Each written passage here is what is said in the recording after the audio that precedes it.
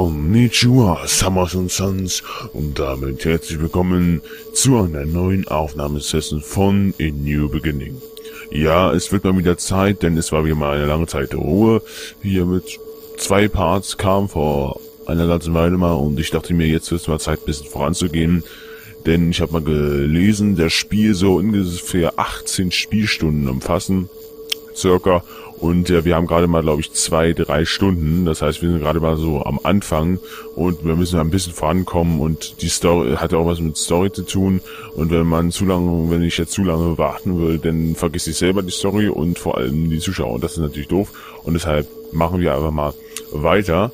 Ich habe mich jetzt so ein bisschen schlau gemacht, äh, sag mal, wo wir überhaupt sind. Also habe mir das letzte Video nochmal angeguckt. Ja, und äh, genau zum Entschluss gekommen, äh, ja, wie es jetzt weitergeht. Also habe mir so ein bisschen Ideen gemacht, habe mir ein paar Sachen aufgeschrieben, äh, was man, was ich beachten sollte.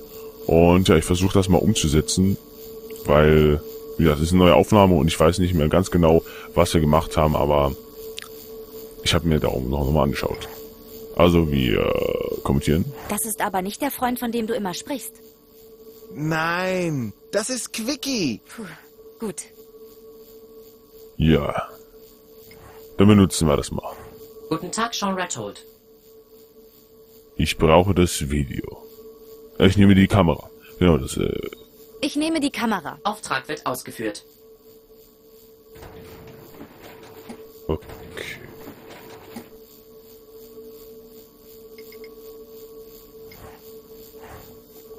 Das muss wohl diese Ninon Opus Lux C Spiegelreflexkamera sein.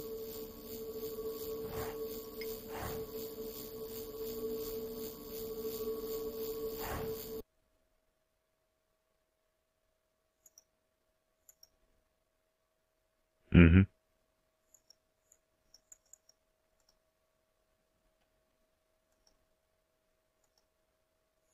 Tja. Ach so. Aktiviert. Okay. Ich stelle den Selbstauslöser auf etwa eine Minute. Jetzt muss ich mich aber beeilen. Äh.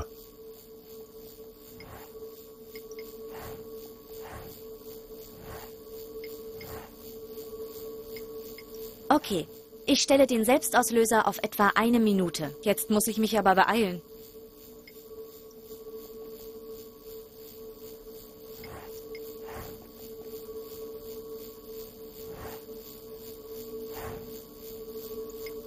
Okay.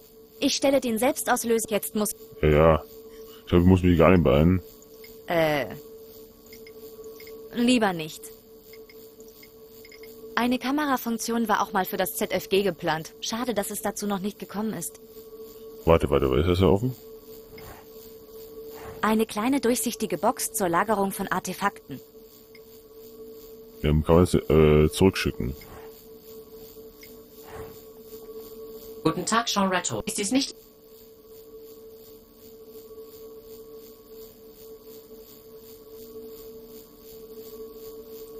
Ich bin fertig mit dem bestellten Artefakt. Ich möchte etwas anderes bestellen. Ich bin fertig mit dem bestellten Artefakt. Nein!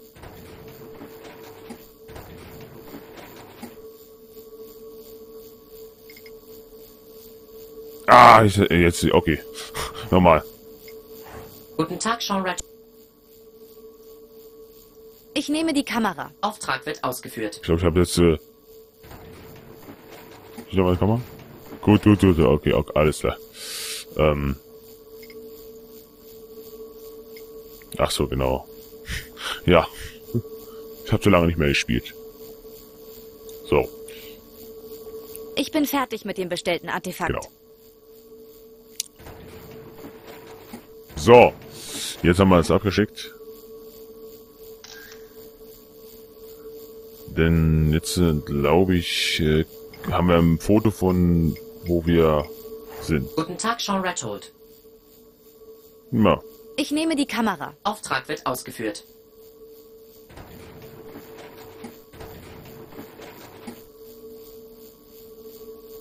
so, jetzt schauen wir mal an.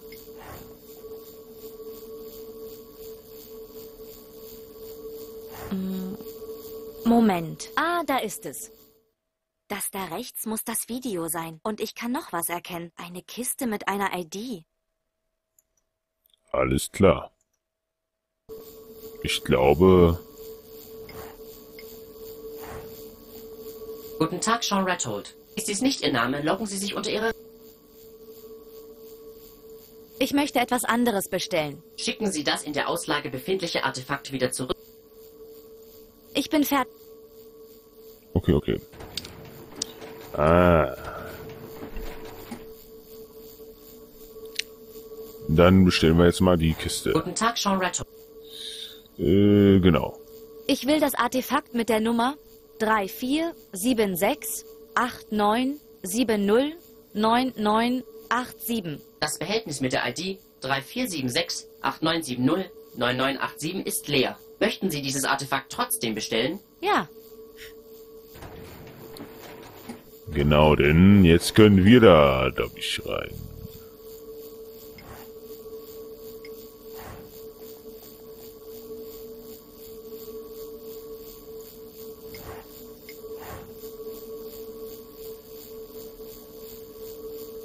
Passt. tatsächlich, ich passe hinein.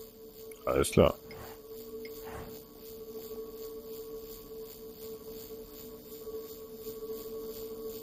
Kannst du Quickie bitte sagen, er soll die Kiste zurückschicken? Das fänden meine Freunde aber nicht in Ordnung. Bitte. Tu mir diesen Gefallen. Ich störe dich danach auch nie wieder. Meine Freunde sagen, ich darf keine Menschen in der Box wegschicken. Ich darf keine Ausnahmen machen. Geht nicht. Nein, Ich koche dir und deinen Freunden auch was. das würdest du tun? Wir haben oft Hunger. Klar, versprochen ist versprochen. Okay, sag Bescheid. In zehn Minuten musst du diese Box hier zurückrufen. Okay. Danke. Du bist mir eine große Hilfe.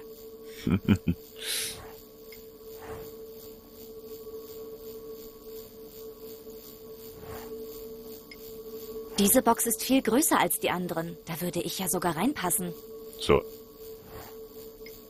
Du kannst mich jetzt wegschicken. Okay. Quickie, schick sie weg. Schick sie weg.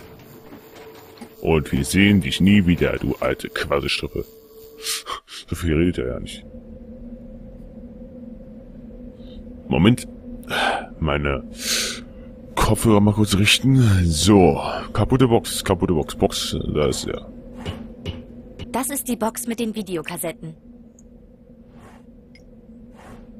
Sie klemmt. Ah, wir haben einen Schraubenzieher. Was? Ein Video vom Kraftwerkunglück und eines von der Klimakonferenz. Egal, was Salvador sagt. Wir müssen mit den Menschen reden. Er wird schon noch einsehen, dass ich recht habe. Ja, hoffentlich. Wegen dieser Box konnten die Videokassetten nicht hochgefahren werden. Verstehe. Kisten. Dafür würde ich Jahrzehnte brauchen. Und das meiste würde mich nicht mal interessieren. Eine Unmenge an durchsichtigen Boxen. Okay.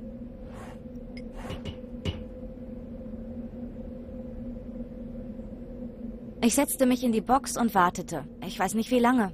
Zehn Minuten? Eine halbe Stunde? Nichts geschah. Ihr Freund hat sie versauern lassen. Ihm gefiel wohl nicht, sich von ihnen belehren zu lassen, wie er zu leben hat. Warum auch immer. Er hatte mich verraten.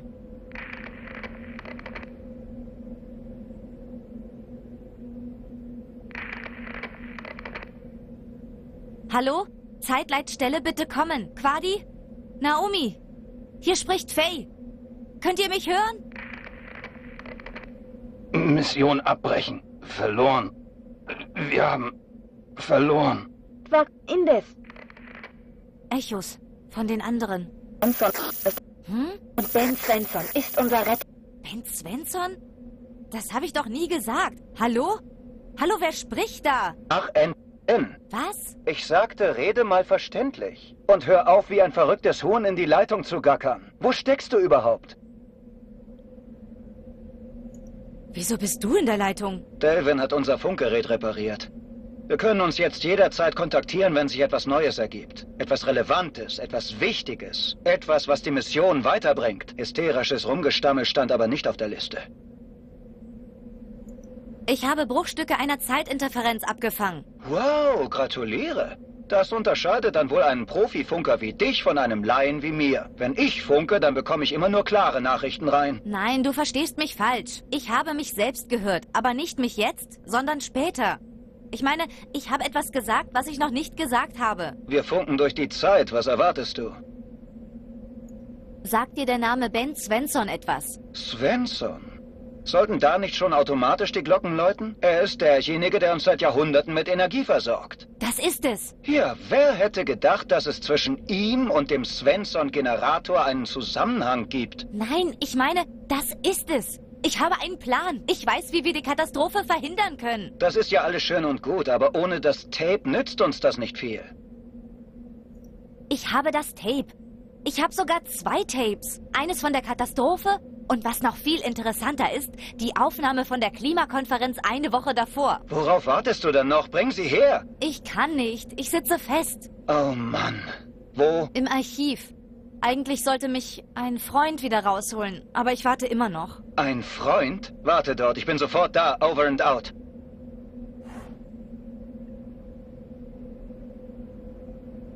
Okay.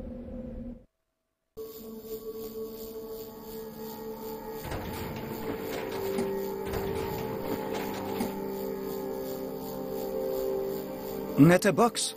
Ich hoffe, dich gibt es jetzt nicht serienmäßig. Danke für deine Hilfe. Du sagtest, du hast das Tape? Hier, bitte. Gute Arbeit. Und hier das zweite.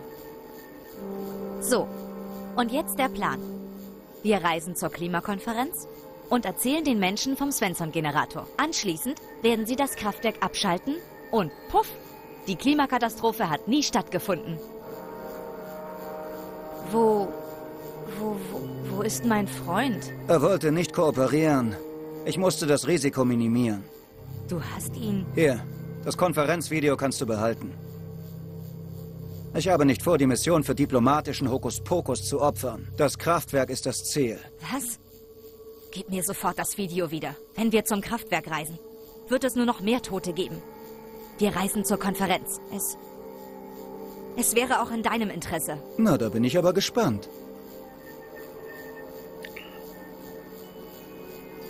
Wir wissen nichts über die Zeit, in die wir reisen. Vielleicht ist alles ganz anders als auf den Videos. Zur Konferenz wären wir eine Woche früher da und wir hätten mehr Zeit, den Grund für die Katastrophe zu finden. Hm. Guter Punkt. Und weiter? Wenn es uns nicht gelingt, das Kraftwerk direkt vor Ort zu retten, dann ist die Mission gescheitert. Wir erhöhen unsere Chancen, wenn wir im Vorfeld alles versuchen, das Unglück auf anderem Wege aufzuhalten. Macht Sinn. Was noch? Wir müssen eine langfristige Lösung finden. Wenn wir ein Kraftwerk retten, wird irgendwo ein anderes explodieren. Die Menschen müssen sich aus eigener Überzeugung ändern. Wir können sie nicht dazu zwingen. Das wird sich zeigen. War das jetzt alles? Reicht dir das noch nicht? Also gut. Ich lass dich auf die Konferenz. Es ist einfach der bessere Weg. Du hast heute viel Geschick und Intelligenz bewiesen. Du hast den Bohrer eigenständig umgebaut und du hast ein fremdes Terminal repariert. Es wird dir sicher auch ein leichtes sein, die zweite Zeitkapsel wieder in Gang zu bekommen. Was? Wenn es dir noch nicht aufgefallen sein sollte, in unserer Kapsel ist nur Platz für zwei. Und ich habe mich für meinen Techniker entschieden. Ihr lasst mich zurück? Ihr. Und eines noch. Wir können Gewalt nicht vermeiden. Es wird sterben, wer sterben muss. Vielen Dank für deinen Einsatz, Faye. Lebe wohl. Warte! Da Sie jetzt hier sind, nehme ich an, Sie haben die zweite Kapsel in Gang bekommen. Nein. Ich habe ihre sabotiert.